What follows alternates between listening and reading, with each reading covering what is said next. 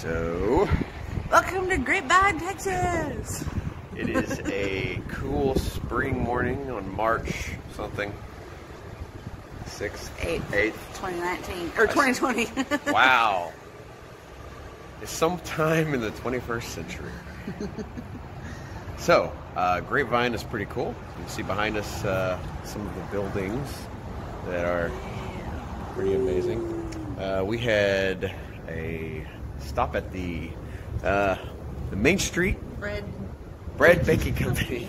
We uh, we had breakfast there yesterday. We had it again today. Uh, omelets are pretty good. Omelets are pretty good. Not a huge selection for breakfast, but there is a That just huge. means they can focus on the things that the- they have the- and, yeah. and perfect them. But I mean, when you count breakfast foods, you know what is there really? Uh, huge sure selection of pastries. You probably could have had some wine. Could have had, I'm sure some people. Wine with our pastries. Yeah, good place to eat. Uh, nice and again, very nice and cozy environment. There is a higher end dining area. Uh, we did not check it out. We got a picture of it. it looks, Chez pretty good. Fabian, Fabian, Fa- Yeah. Fabian, Chez Fabian, Fabian, Chez Fabian. Uh, link link in the description. Yeah. So uh, yeah, Grapevine's pretty Chez cool. Fabian. The uh, Gaylord Texan is immense. Yeah. Uh, it's like a Disneyland in a building almost, as far as the It's aesthetics. pretty cool. so sorry, I hit the stop button. Um, is it really a button on a touchscreen anymore? Do we still call them buttons? We do call them buttons. It's not a button. They call them buttons. It's a hotspot. I don't know. Something you touch that. It's buttons. It's called buttons. It's not a button though. Button's a physical a- object. it's a okay, button. You tell us. Is it a button? It's called a You tell us in, in the comments. Is it a button? I don't know. Anyway, the Gaylord Texan. The wheel, I'm just saying. The Gaylord Texan is immense. It's like a Disneyland inside a building. It's uh, with no rides. Uh, yeah, I've got some video of that. I got some pictures of, of that that we'll, uh, we'll post. Yeah. Pretty cool. It's a miniature train village. It's really cute. Yeah. A lot of work went into that. Why wouldn't me? Uh, It's cold and I've had sugar for breakfast. this is what happens. so the bed and breakfast experience, the Airbnb. oh, what it we so say? much potential. It was really cute. Yeah. The courtyard was really cute. I wish we would have gotten some pictures or video of the courtyard. Courtyard Yeah. was cute. It was good. very eclectic. There was a like an old um, clawfoot bathtub that they used for a little garden area. It had a really cute little um, fountain that I don't know if it worked or not. It wasn't working this weekend, but the things that didn't work this weekend did not stop there. Yeah. Uh, so the initial uh, video that we were doing was pretty positive when we walked in. We were impressed. It looked cozy, clean. Uh, and then the first thing I think we discovered was the microwave was uh, pretty disgusting. It had food stuck all in it. There was food on the top, on the sides, Yeah. on the bottom, on the door. Could have been an oversight uh, initially.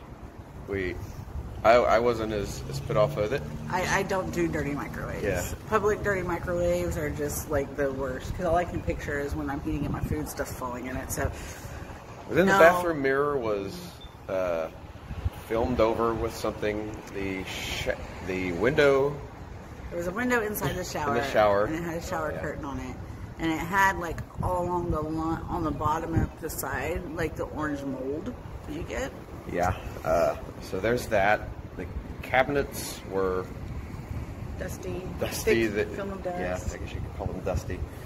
Inside the uh, the water heater was borderline fire hazard with all of the lint and dust and. Uh, It wasn't borderline. It was a fire hazard. It was a fire hazard. It was like a Well, dog lived in there. It wouldn't have been as bad if the um, smoke detector worked at all. Which The leads us to the first night. first night, yes. So we had a comfy bed. The bed was comfy. Bed we, was good. We both thoroughly we checked. it.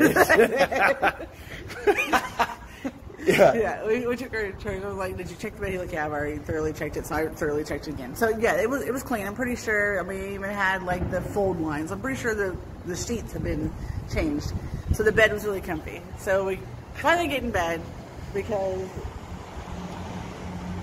we'll go back to this. I couldn't get my coffee or tea or anything. But anyways, um, so we get in bed. I'm like, I give up, lay down, go to sleep, and then I hear beep, beep, Battery low. battery low. Yeah, it was bad. I'm like, what was that? Or no, you asked, what was that? And I'm like, I think it's the fire detector or fire alarm. So we back to sleep. beep. That was smart on our part, but we were tired. It was a long night. And then he, and then we both wake up again. I'm like, what was that? Because like I didn't know, right? Because I already told him once, and he's like, I think it's the fire. We were delirious from our drive. It was late. And then it did it again. I'm like, I got up. I'm like, I'm done. And then I, I started writing an email to the um, host, and I was tired and cranky, so I was gonna wait to send it until I put it through my filter here. Accidentally sent it. I'm like, okay, I'm gonna finish it. So I just, and I told him I didn't mean to send this because I'm cranky and tired, but I might as well finish it since I accidentally did. And you know, I told him started with the the microwave was yucky because I was going to heat up some water in the microwave to make some tea to help me sleep and you know, Because the stove didn't work.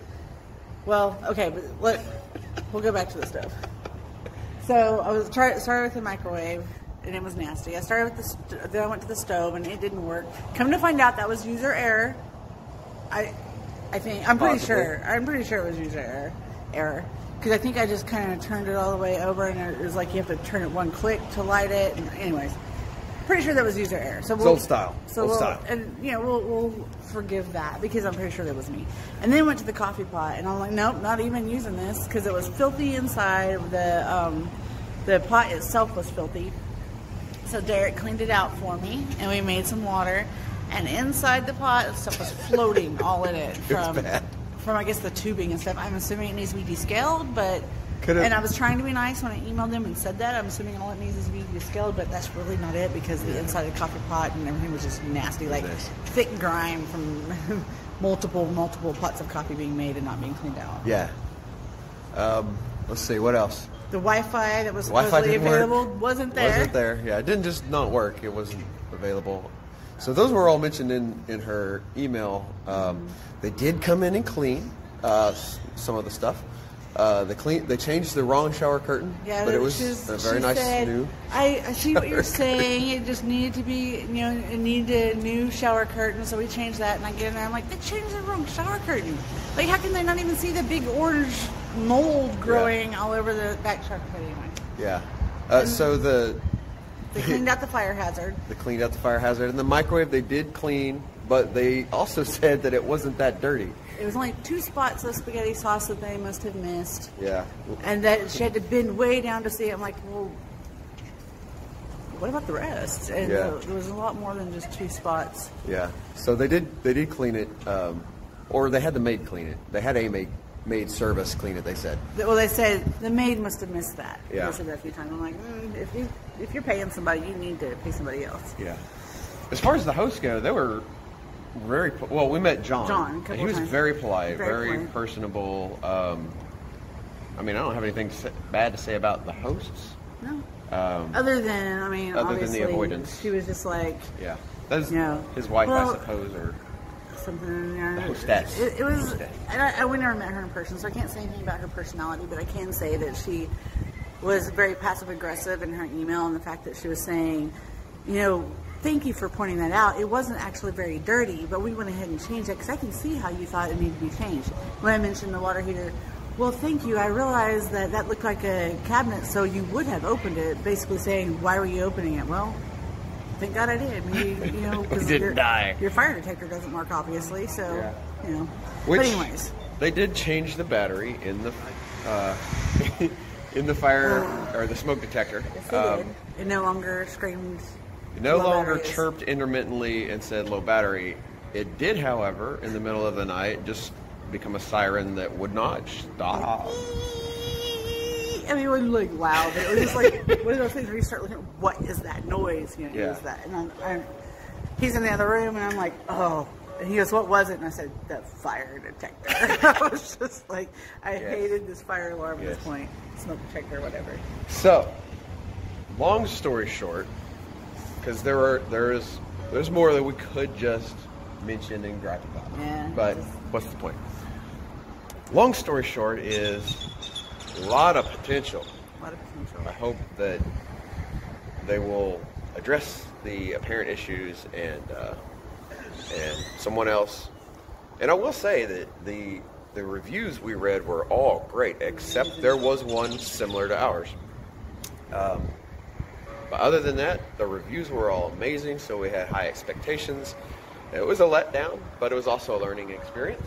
There weren't amenities like we are used like we're used to. Like um, you know, we, we usually will have some snacks and like one coffee pot you can use, but um, Yeah. there, it was like leftover. Those weren't promised things, though. no, they weren't. No. Um, The promised things promised. were a clean place, Wi-Fi. Uh, you know, we got the comfortable bed part down. That was it was comfortable. I will say the couch was comfortable too. The little Yeah.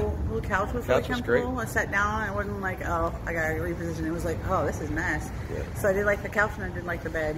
yeah. And John was nice. The the I met the goat. I did not meet the pig. I didn't get There's the a goat. potbelly pig. I did meet the goat. Uh, he he was very insistent that I had something for him that had. Sorry, goat. I didn't. Um, so yeah. So that's it. that's it. And we Grapevine's awesome. Grapevine's amazing. I would Uh, love to come and visit again sometime when we just have some just yeah. spare time. Dallas is not amazing. No, I don't. I don't. I don't More on Dallas in another video. All right. Where Texas, they can hear us. That's it. Have a great day.